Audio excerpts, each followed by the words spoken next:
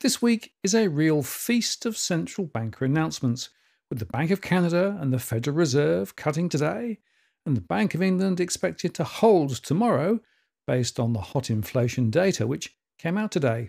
The UK is actually a bit of an outlier among advanced economies. In the US, inflation is below 3%. In the Eurozone, inflation is around the European Central Bank's 2% target.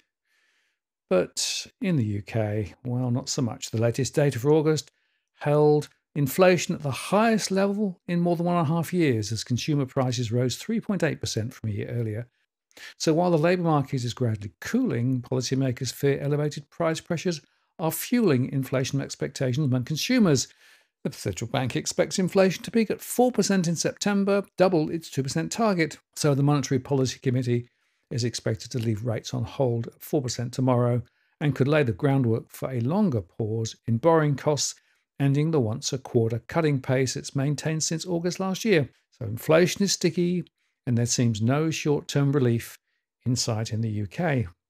Now, across in Canada, the Bank of Canada cut interest rates as the economy and labour markets showed damage from US tariffs, but they kept tight lipped on any future path for monetary easing. The Bank of Canada remains in a bind, it seems, as it weighs the upside risk to inflation against the downside risks to growth from the trade war.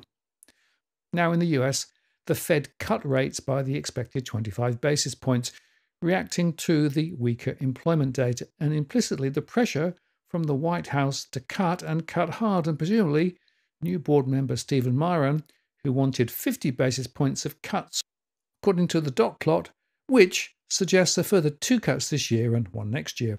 There was actually no real change to their economic forecast. The growth rate was up slightly, while the PCE inflation projections were unchanged for this year, but higher for the next year, up from 2.4% to 2.6%.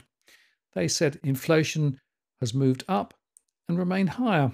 GDP was upgraded from prior projections. So it looks like the Fed is cutting into higher inflation which poses the question is this the Miran effect, maybe as a Trump proxy? The spread of the dot plots is extremely wide, and there was only one dissent, which is perhaps surprising given the 25 basis point cut. And I think we can see Trump's shadow cast on the Fed. Now, in Australia, chances of a September interest rate cut by Australia's Federal Reserve will hinge on the release of the national employment figures due out today.